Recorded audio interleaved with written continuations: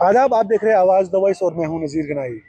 श्रीनगर के टैगोर हाल में आज एक पुरवकार महफिल का इनका किया गया, जिसमें principal secretary, department of culture, Jammu and Kashmir, Suresh Kumar Gupta ने एक बुक की रस्म रनुमाई अंजाम दी। ये बुक हया जीशान ने लिखी है, जो एक नौनिहाल ऑथर है। हया इसके बारे में क्या कहती है? चलिए उनसे जानते हैं।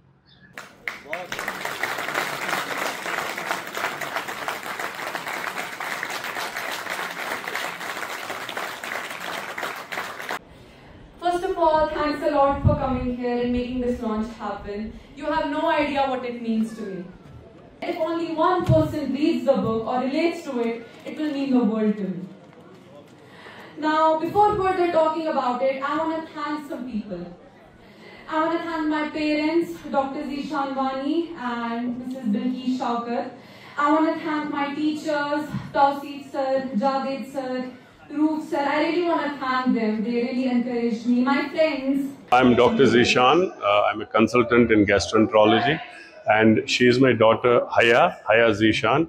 She is in uh, 10th class, uh, reading in Islamic International School, uh, uh, Srinagar, and uh, when she was in 9th class, she has inclination towards writing poetry, English poetry, and uh, uh, fortunately, she could produce a very good uh, book on English poetry, which is worth more than 106 poems.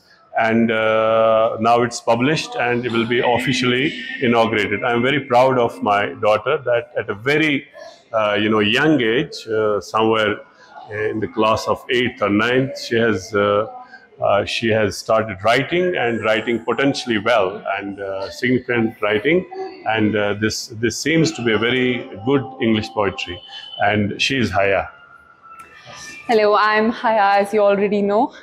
So it just started out like three years ago. It started out with me trying to just, you know, scramble some words and trying to make sense out of them. But now it has become a natural part of my life, poetry. I really love to write it and I hope you read my book, you give me a chance. It will mean the world to me if only one person reads it or relates to it. Thank you.